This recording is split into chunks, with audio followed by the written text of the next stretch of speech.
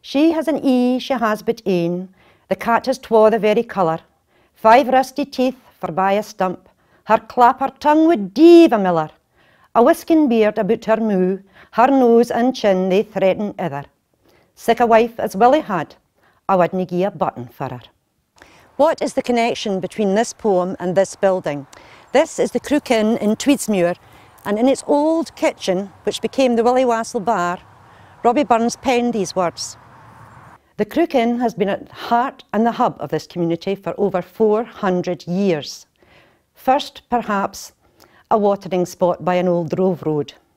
Then, in the 18th and 19th century, a busy staging post on the coach road between Edinburgh and Dumfries. It became the haunt of the Edinburgh literati and that new breed which appeared in the 19th century, the tourist. They arrived to study the picturesque and to take much drink. In 1936, wonderful Art Deco features were added to this building. But it has not just been the haunt of the great and the good and the visitor.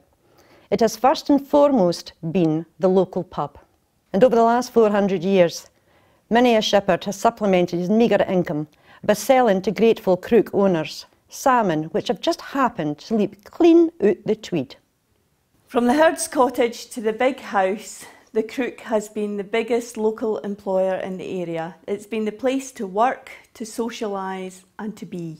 The Crook Inn was very important for social interaction. We had teachers marrying nannies, we had people coming from further afield, buying houses, marrying, having children, supporting the local schools and bringing up their families in the area. It was my first job and probably my best job. Every household in Tweedsmuir has had at least one member of their family working at the Crook Inn. It has been the biggest employer in the area over the last few hundred years.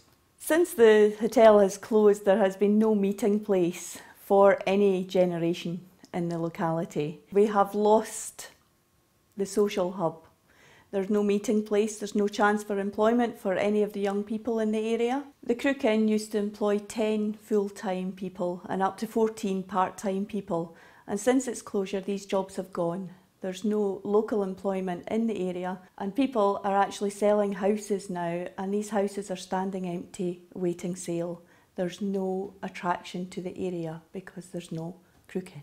I would like the Crook Inn to once again provide lots of local employment in the area, to enthuse young people to get out and get a job, to give them a purpose in life. My name's Gordon Fraser, I'm a resident of Tweedsmuir. I'm currently a management consultant based in Edinburgh and crucially prior to that I've had 15 years management experience within the hotel industry. The Tweedsmuir Community Company with very high levels of involvement from all of the community have developed a very exciting uh, proposal and plan to develop the inn and the land surrounding it to reinstate what has been for many, many years uh, the hub of the community. The concept behind the new hub that will be based at the Crook Inn is really very, very exciting. Not only will we be reinstating the inn itself, and getting back those uh, jobs and indeed growing the number of jobs up to 18 uh, full-time equivalent positions within uh, two years. Uh, there are many other elements to the plan that are, uh, that are exciting. There are sports and social facilities uh, that we will build and implement, again for local community and beyond. There's a kitchen market garden that will be established. there will be a, a cycling hub. We will reinstate uh, clay pigeon shooting uh, and many, many other of the social events that have taken place in Upper Tweed Valley at the Crook Inn for literally centuries. Uh, and having those reinstated is really very exciting indeed. So we have the vision and we have the concept. We have tremendous uh, levels of support uh, from within the community and we have a very sound and robust uh, business plan. We've got one opportunity uh, to get this right. Uh, if we don't get it right this time, it'll be lost to us uh, forever. Personally, I'm absolutely determined to make sure that that doesn't happen. Building flats in Upper Tweeddale is not the answer. Developing the, the community hub is critical, and I, for one, will devote all my energy and all my efforts to make sure that that is successful. Since the closure of the Crook, the community were absolutely shocked. It's brought the community together. We're now fighting actively to campaign to get it reopened. We would like the future to be as good as it was in the past and even better. When the Crook Inn was closed in 2006, the community was appalled. We've been very active since then.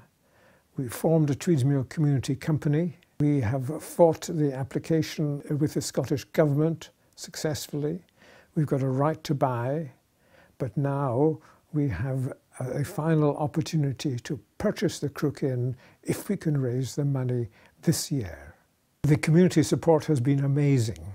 Over 60 people turned up to help to clear the outside of the Crook Inn recently. That is about a third of the population. There's been also a variety of well-attended, enthusiastically supported local events to raise funds. We have a vision and plans for the renovation of the Crook Inn to make it both sustainable and of benefit to the local community. We need to raise £160,000 by the end of 2012 and we need your support or the Crook Inn will be lost forever. A fond kiss and then we sever, a farewell and lost forever.